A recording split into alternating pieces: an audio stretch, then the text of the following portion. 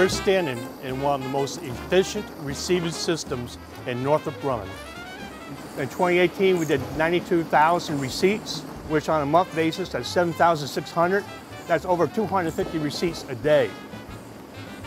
Now that's just material being inducted into inventory. In the meantime, same time frame, we're issuing material out of inventory. In 2018, did over 100,000 picks out of our carousel. That's 9,500 a month. That's over 300 a day. So who's controlling all this material where it's going? Our conveyor manager. If I didn't have that, I would need 1,000 bread racks and 100 people to move that material.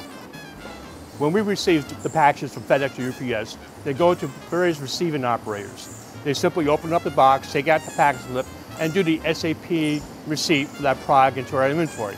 SAP will generate a material identification label, which is unique to that receipt.